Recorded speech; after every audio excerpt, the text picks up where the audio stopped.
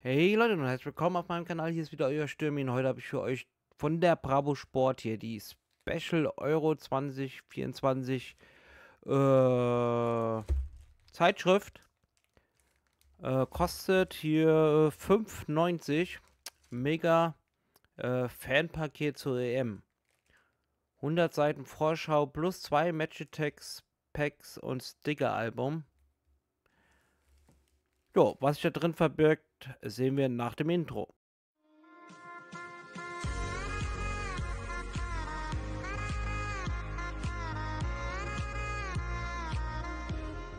Das hier mal gegönnt. Ich habe das bei äh, Hendrik Schuster gesehen. Äh, habe ich mir direkt mal gegönnt. Da gab es nochmal die normale Bravo Sport. Da wäre äh, die Trading Cards ein Päckchen gewesen, aber mh, hm, Mal gucken. Entweder hole ich mal das noch oder ich lasse es. Äh, wir holen die Zeitschrift jetzt hier mal raus. Müsste eigentlich ganz easy gehen. So. So, ein Sticker-Album. Dann die Bravo Sport Special Edition. Und dann haben wir hier noch das hier. Warum? Hier steht zwei Magitex Packs. Äh, warum habe ich hier drei? drei von denen. Und ich habe dann hier noch das hier. Mit drei Karten. Das wird wahrscheinlich so ein... Ach, jetzt komme ich nicht auf den Namen, wie das nochmal heißt. Vielleicht weiß es einer von euch. Ja. Dann würde ich sagen, wir gucken erstmal schnell in die Zeitschrift. Also Sticker-Album äh, müsste eigentlich jeder von euch kennen. Äh, ja. Das gibt es auch als Hardcover. Also falls ihr euch das Hardcover holen wollt, äh, geht mal auf Stickerpoint oder geht auf tops.de. Äh, ja, da werdet ihr das schon finden. Und dann gehen wir mal hier äh, an die Zeitschrift.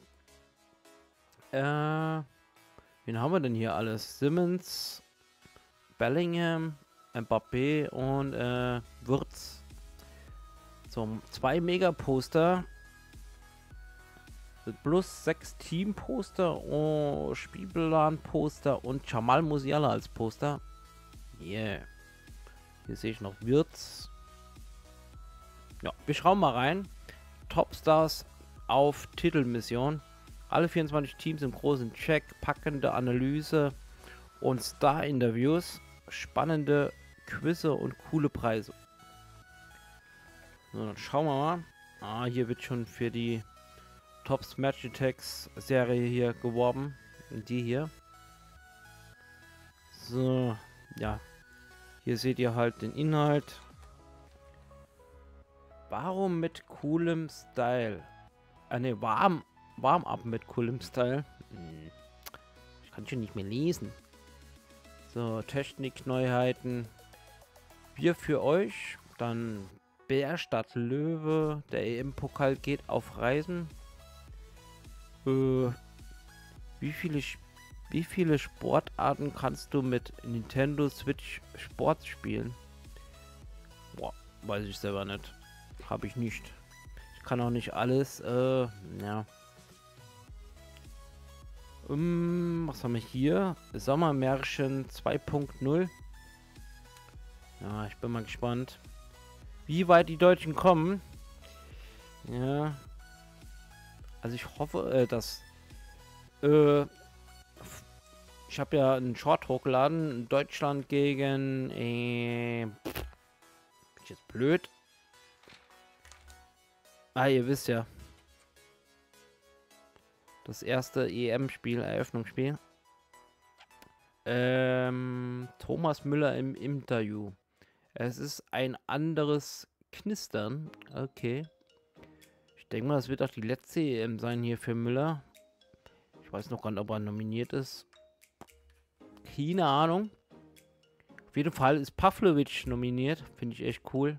Ich habe auch hier das Check 24 Trikot an. Ja, Hinten steht jetzt Stürmi drauf und die Nummer 7, falls ihr das Shot noch nicht gesehen habt. Das kommt vielleicht noch heute. Ich denke mal, als erstes kommt das zweite Gruppenspiel gegen Ungarn. Und dann kommt dieses Video und dann kommt ähm, der nächste Short mit dem Update zum Check 24 Trikot. So, dann gehen wir mal hier weiter, sonst äh, dauert das Video zu lange. Heimvorteil nutzen. Titelkandidat. Jetzt schreiben die hier schon Titelkandidat. Hm, okay. Jamal Musiala. Jamal mit Würz. Das wär's. Äh, unsere X-Faktoren für die äh, EM-Titeltrümpfe. Hier sehen wir Rüdiger, Groß und äh, Havertz. Wieso komme ich denn nie auf die Namen? Manchmal habe ich echt Schwierigkeiten. So, dann haben wir hier Gruppe A. Schweiz. Ach, gegen Schottland, genau. Das war das erste äh, Short. Auf TikTok habe ich es natürlich auch hochgeladen. Da ist es nicht so ausgerastet wie hier auf YouTube. Glaube, äh, aktuell mit 8000 noch was äh, aufrufen. Äh, K.O.-Runde ist Pflicht. Okay, klare Mission. Dann haben wir hier die Ungarn.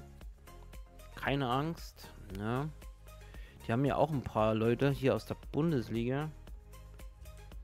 Hm. Billy Orban zum Beispiel. Peter Gulaschi. Wen haben wir denn hier noch? Dominik äh, Soboslai. Hm. Ja. Andreas Schäfer. Der sagt mal irgendwas. Planet Fußball. Das, ja. Geht's weiter. Wer wird Goal-Gigant? Ja, das ist die große Frage. Vielleicht wird's äh, CR7. Mal schauen. CR7. Mm. Die rote Furie ist zurück. Spanien. Spanien könnte ich als Titelkandidat äh, in Kauf nehmen. Italien weiß ich nicht. Wen haben die denn so hier? Donnarumma. Mm, Mancini. Bastoni, Di Lorenzo, Barella, Giorginio, ähm, Di Marco, Zaniolo, Chiesa und Raspadori. Ah. Mal schauen, wie weit die kommen, die Italiener. Kroatien mit Luka Modric. Ich denke mal, das wird auch die letzte EM werden hier für ihn. Wird ja Real Madrid verlassen. Haben wir den Vertrag nicht verlängert. Was haben wir denn hier? Albanien. Keine Ahnung. Ich glaube, die kommen nicht so weit. Aber man soll nie, nie sagen, ne? Wir haben hier Rising Stars. Die EM der Youngster. Oh, hier Lamine Jamal. Wen haben wir denn hier noch so? Hm, von England. Mainu oder Mainu, okay, dann haben wir hier Bakayoko, Chavi Simmons, äh, Scalvini oder wie ausgesprochen wird. Äh, wen haben wir denn hier? Emery, Florian Wirtz, ja. Ja, da gibt es einige Youngsters. So, hier England. Erfolgshungrige Löwen. Die.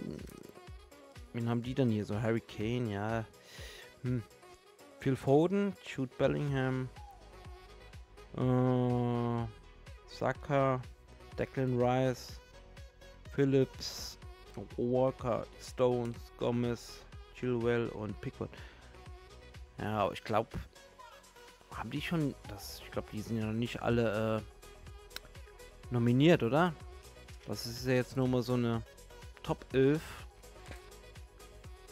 Die Deutschen, die geben ja heute ihr Dings, ihre, ihr Kader bekannt. Es wurde ja so, so, so nach und nach ein paar Namen äh, veröffentlicht, die schon drin sind im Kader. So, Gruppe C mit Dänemark und Slowenien. Wen haben wir denn noch? Ist hier dann Serbien. Jagd auf den Titel. Ja, Frankreich könnte auch, ja. Frankreich, äh, Spanien, England vielleicht, eventuell. Deutschland muss ich mal abwarten. Also, wenn sie die Vorrunde überstehen, sage ich, jo, könnten wir vielleicht weiterkommen. Wie weit, weiß ich nicht. So, hier haben wir die Niederlande. Die finde ich eigentlich auch nicht schlecht. Mit Dürlicht, Ake, Van Dijk. Wie alt ist denn Van Dijk eigentlich? 32. Hm. Der könnte vielleicht noch eine EM spielen. Äh, WM. In zwei Jahren. Was haben wir hier? Österreich. Ja, Österreich ist doch David Alaba. Was ist denn eigentlich mit David Alaba? Ist der verletzt? Ich weiß es gar nicht. Glanz im Sturm. Die Polen mit Lewandowski. Die haben eigentlich auch äh, gute Spieler. Die Polen. Mm, Nackelsmann. Den hätte ich gerne wieder in bei Bayern gesehen, aber ja. So, hier haben wir das Teamfoto von Frankreich. Frankreich. Haben wir die Spanier mit Lamine Jamal. Ich hoffe, ich spreche den Namen richtig aus. Jamal, ja. Oh, ich meine, der heißt Lamine Jamal. Hm, wenn ich korrigiert mich. So, hier haben wir die Engländer. Haben wir die Türkei äh, Niederlande. Haben sie ja die besten Teams, äh, Nationen geholt. So, hier haben wir dann den Spielplan. Äh, als erstes gegen Schottland. Das habe ich ja äh, so Vorhersage Video, also Short gemacht.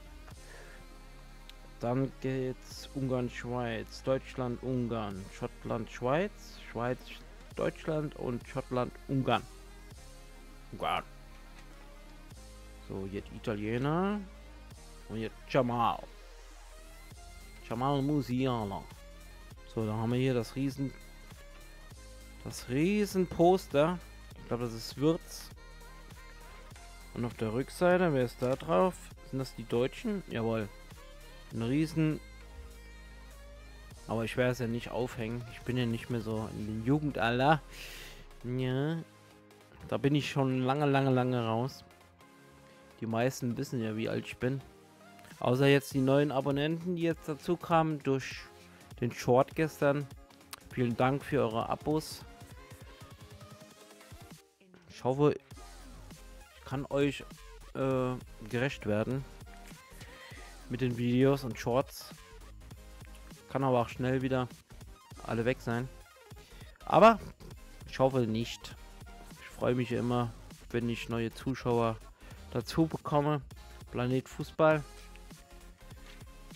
Wir, bist du ein EM-Experte? Naming nicht. So, was gibt's denn hier?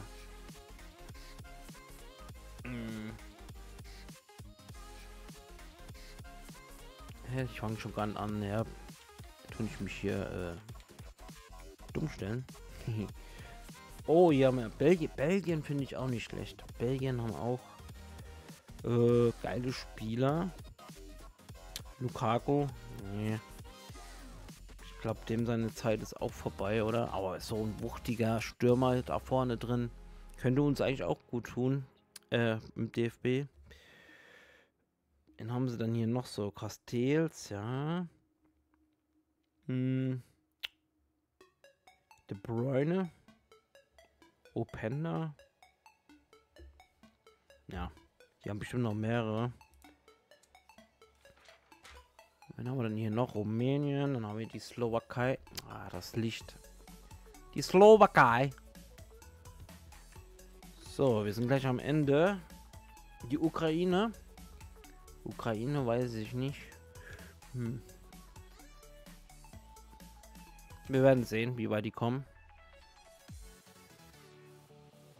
Champions Quiz. Äh, zurück an die Spitze. Portugal, ihr CR7. CR7. Der 39? Mit 39, Alter. Guck mal, wie der aussieht.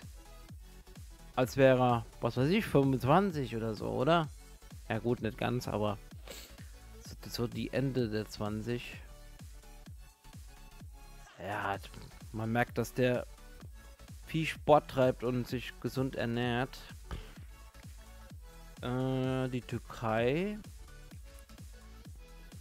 Der Topstar. Hakan Chanalulu. Wen haben die denn hier so alles? Ada Güler. Ja. 19 Jahre. Ist der eigentlich schon Stammkraft von der Türkei? Weiß ich gar nicht. Aber der war auch lange Zeit verletzt.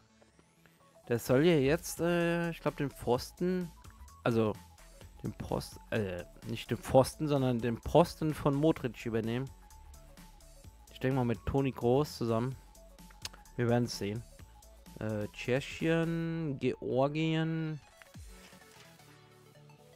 Hoffnung auf den großen Wurf. Der große EM Power Check. Titelkandidaten. Geheimfavorit. Aha. Äh, Wundertüten. Und Außenseiter. Ja. Wahrscheinlich die kleinen Länder. Hm, großes Instagram-Ranking. Die Kings im Netz. Meiste Follower. Wie viel hatten der? Äh. Wo steht denn das? 628 Millionen Menschen folgen CR7 auf Insta. Oh ja. Der hat äh, keine Probleme mehr. Oh, wer ist denn hier so tätowiert? Das sind die Tattoos der EM-Stars. Crazy Tinte. Ach, das Licht, das nervt mich. So geht's, oder? Ich so ein bisschen halte. Soboslaya Tattoos. Alessandro Bastoni. Marcelo Brozovic. Rafael Leao. Mütrik oder Mutrik. Äh, Frank, was? Aster, Franks, keine Ahnung. Grimaldo, Toni Kroos, Kyle Walker, Memphis Depay. Hm, oh Mann, ah, Simon Kier noch. Was haben wir hier? Historische Deutschland-Jerseys, Tore, Titel und Tränen. Ich habe ja kein originales DFB-Trikot, sondern nur das von Check24. Äh, ich könnte mir gar keins leisten irgendwie, so richtig. Höchstens vielleicht ein gebrauchtes oder so. Weil die sind ja schweineteuer, die Kacke. Ja. Und ich würde mal auch gar nicht dieses komische neue da holen. Dieses äh, pinke oder was das ist. Eure Trikot Favorites also sowas lasse ich mir noch äh, gefallen. Aber das äh, andere, nee. Das ist halt Geschmackssache. Gehst du mit? Hm, nee. Hier, das interessiert mich überhaupt nicht. Ah. Hier geht der Punk ab. Äh, Punk ab. oh, leck. Berlin, Dortmund, Köln, Düsseldorf, mh, hm, Frankfurt, Schalke, mh, hm, Leipzig, München, Stuttgart, Hamburg. Ah. Was haben wir hier noch? Wie gut kennst du die EM-Stars? Wahr oder falsch? Hm. Keine Ahnung. Ich will es ja jetzt nicht... Eh schon so lang das Video. Aber ja. Deine Stars hautnah. Dann haben wir hier noch Ronaldos Big EM Moments. Thomas Müller vs. Ronaldo. Also die zwei kann man noch nicht vergleichen. Er hat so Storchenbeine und er ist äh, äh, so sportlich. Ja, egal. Aber Müller ist sympathisch. Also da kann man sagen, was man will. Die Milliardenmannschaft. Die wertvollsten Stars in einem Team. Kane mit 110 Millionen. Saka mit 130 Millionen. Kimmich 60 Millionen. Bellingham mit 180. Mbappé 180. Wie alt ist der überhaupt? 25. Okay. Rodri mit 110 Millionen. Jamal Musiala mit 110. Genau, dann hier Ruben Diaz mit 80 Mille. Saliba mit 80 Mille. Theo Hernandez, der ja vielleicht zu Bayern kommen könnte. Äh, 60 Millionen und Costa 45 Millionen. Joa. Gesamtwert 1,145 Milliarden. Hui. So, die EM im TV. Ja. Hm, 16, ne, 14. 6, äh, 14.06.24, 21 Uhr, Schottland in Mün äh, gegen Schottland in München. ZDF und Magenta TV. Ja, das war hier die Special Bravo Sport zur EM. Jetzt gucken wir noch schnell, was hier so drin ist. Ach, ein Promo-Pack. So, jetzt kam ich auch hier drauf. Promo-Pack ist das. Oh. Ich bin ja so blöd. Nee, habe ich da aus Versehen, äh, egal. Dänemark, Lindström. Dann haben wir Kasachstan mit Orasov und Tag Tagibergen. Dann haben wir hier noch Polen mit Czechny und Betnarek. Dann machen wir noch schnell die drei Booster hier auf. Sind überall vier Karten drin. Vielleicht ziehen wir noch irgendwie einen geilen Spieler. Wäre nice. Ach. Hier haben wir die Franzosen, die leider... Hä? Ah, da ist noch einer dahinter. Was ist denn da los? Okay. Äh, Kunde von den Franzosen. Leider wegen der Lizenz, äh, jo. Kein, äh, Originaltrikot. Dann haben wir hier Courtois als Hero. Äh, hier hängen schon wieder. Oh, hier haben wir McGregor von Schottland. Ich weiß nicht, wie man die Karten hier nennt. Und da haben wir hier noch... Ui, hoi, was ist das hier für eine Karte? Die ist ja mal geil. Äh, Euromaster Pierre-Emile Heuberg. Limited Edition. Ach, depp. Sag mal richtig lesen. Limited Edition, da sieht das. Also, ja. Äh, das kommt auch noch. Ich habe mir noch mal das äh, Starter Pack geholt. Gucken, wann ich das euch zeige.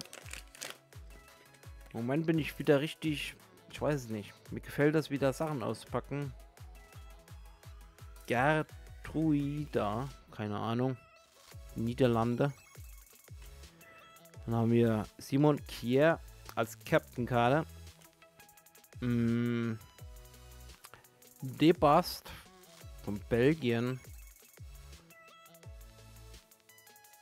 Und da haben wir nochmal eine Limi. Marcel Zapizza. Stand das vorne drauf, dass hier drei Limis dabei sind oder was? Hab ich das übersehen? Keine Ahnung. So, letzter Booster. Das Video geht schon zu lange. Ich hoffe, das tut euch nichts. Oh, hier, Granit Chaka als Centurion. Ja. Hier ist eine umgedrehte. Okay. Uh. Okay, die zeige ich euch am Schluss. Wir haben... Was ist denn das? Albanien. Dann haben wir hier nochmal eine Limited Edition. Benjamin Seschko oder Ses... Manchmal ist die Namen hier auszusprechen. Und dann kommt hier eine Legend-Karte. Wow. Fernando Torres für die Spanier. Was ist das für eine geile Karte? Ja, nice. Spiegelt alles hier. Ja, das war's hier mit dieser äh, Spezial Bravo Sport 2 Euro 2024. Ich hoffe, euch hat's gefallen. Lasst gerne ein Däumchen nach oben da.